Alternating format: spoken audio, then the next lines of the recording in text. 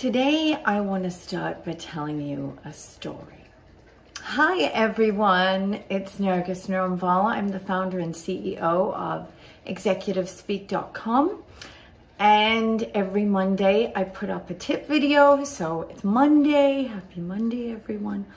So today, I want to tell you a story. We're going to go back to before I was an entrepreneur, before I started my company, had my baby, had a book, had a brand, had anything. And I was employed by a company like many of you in the corporate world. And I remember my last boss, she had this red pen she would keep in a drawer.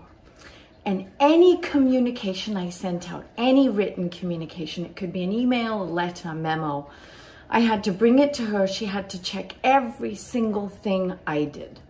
She was very micro, very nitpicky and detailed. Ah, used to drive me crazy. And she would open the drawer. I'd hear the sound of the drawer opening and the pen would come out. And she would just put red circles around everything I wrote. Everything was wrong.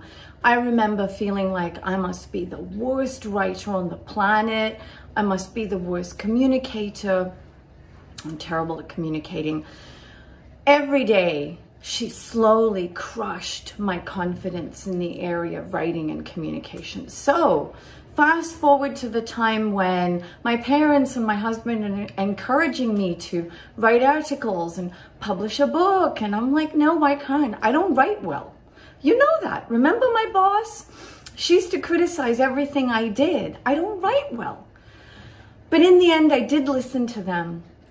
And today's message is don't allow other people's negative opinions to become your reality. Oh my goodness. I'm going to say that again because it's that important. Don't allow other people's negative opinions to become your reality. I know it's hard because we live in a world where people do criticize and nitpick and crush your confidence. Sometimes it's constructive feedback. Absolutely. Take that, take that in. But if it's not constructive, if it's just negative and hurtful and consistently crushing you, think about where that's coming from. Think about why that person is doing that. Maybe you need to have an honest, thoughtful, kind conversation with them and tell them how they're making you feel. But at the end of the day, you can't change them. Okay? You know that. I've said that before. You can only change how you respond, how you react. I allowed her to crush me. I took it in and I made it my own opinion of myself. That was wrong.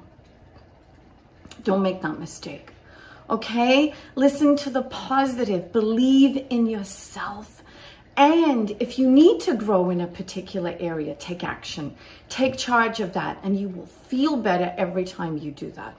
So, action item for this week.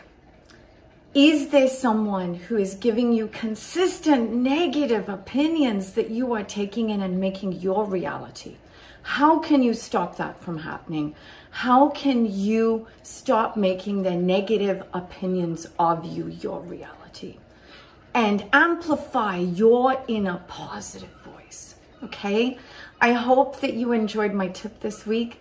Thank you for watching every week and commenting. Please like, comment, share if you love this video. I love to hear from you. And until next week, I hope it's productive and safe. Bye.